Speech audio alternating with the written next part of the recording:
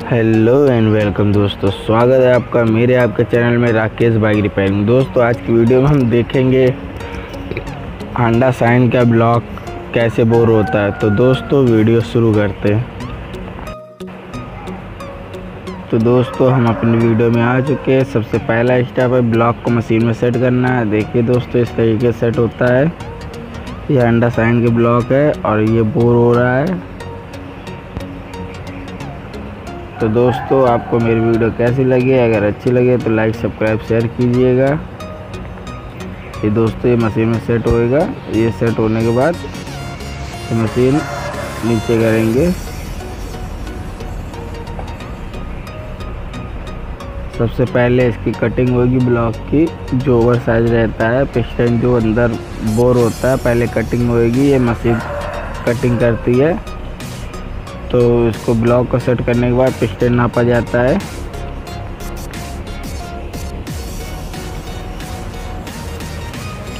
Piston पचहत्तर number है। ठीक है दोस्तों। पचहत्तर नंबर पिस्टन है, उसके बाद पिस्टन नापा जाएगा।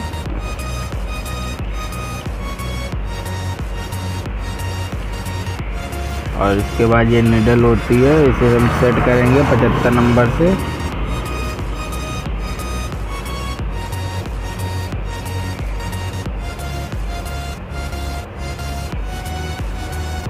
ठीक है दोस्तों। ये मशीन से सेट होएगा पहले, पचहत्तर नंबर पे।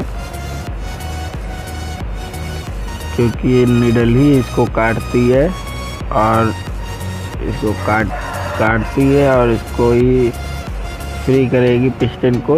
ये निडल मशीन में फंस जाती है और ये इसको बढ़िया अच्छे से काट देगी। तो दोस्तों से हम सेट कर लेंगे अच्छे से। निडल पूरी सेट कर लेंगे। ये हांडा साइन का इंजन सिलेंडर है। ठीक है दोस्तों? ये नीडल सेट करने के बाद इसे हम अंदर मशीन में सेट कर देंगे। सेट करने के बाद मशीन ओपन कर देंगे नीचे करके। तो देखिए दोस्तों मशीन हम ओपन कर दिए और इसे कपड़ा लगा देंगे ताकि कोई कचरा अंदर ना जाए। अगर हल्का भी रेसा या कपड़ा अगर हल्का सा भी रेसा उसमें आ गया तो हमारा इंजन पूरा बेकार हो जाएगा रेसा आ जा गया जाए तो। तो देखिए दोस्तों, ये हमारा बोर हो चुका है। ठीक है दोस्तों, ये पूरा सिलेंडर कट चुका है। अब अब इसमें हम पॉलिश लगाएँगे। तो फ़र्स्ट स्टेप था सिलेंडर अंदर से काटना और सेकंड स्टेप था इसे हम बोर करेंगे। अब पॉलिश लगाएँगे। सिलेंडर काटने से ये होता है पिस्टन अंदर फ्री हो जाता है। और फ्री होने के बाद जो रेसे बचते हैं, उसको हम पॉलिश से हटाएँगे। तो ये पॉलिश होती है। इसकी हम पॉलिश लगाएँगे इसमें। पॉलिश किस तरह लगती है सिलेंडर में, ये भी देख लीजिए। ये हम मिट्टी का तेल लगाएँगे इसमें। ये पॉलिश लगाएँगे। ये देखिए दोस्तों, ये मशीन होती है। ये मशीन से हम पॉलिश लगाएँगे। ठीक है दोस्तों, इस तरीके से पॉलिश लगती है।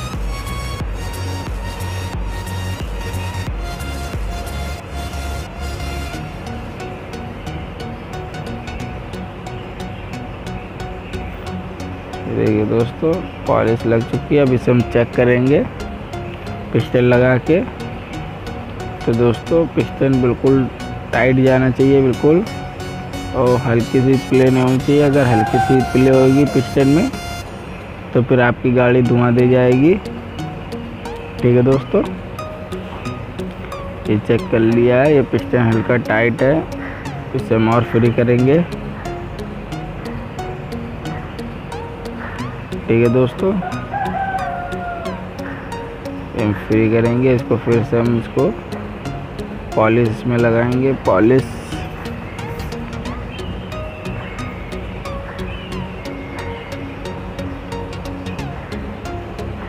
देखिए दोस्तों, इसमें हम पॉलिश लगा लेंगे।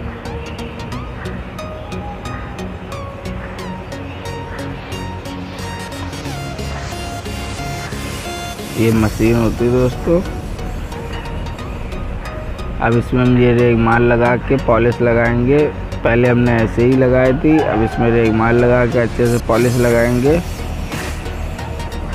रेगमाल लगाने के बाद इसमें पॉलिश में दाग नहीं आता सिलेंडर में, और बिल्कुल चिकना होता है, ताकि गाड़ी धुआँ ना दे, इसलिए रेगमाल लगाया जाता है। ठीक है दोस्तों?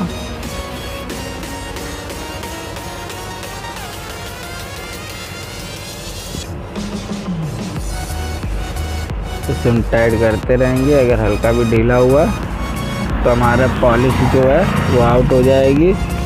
सिलेंडर की पॉलिश आउट हो जाएगी तो उसमें रेसे आ जाएँगे। ठीक है दोस्तों?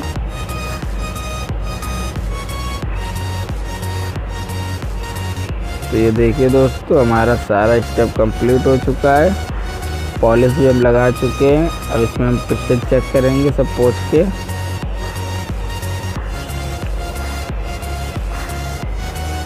फिर साफ़ कर लेंगे अच्छे से। एक भी रेसा ना हो इसमें।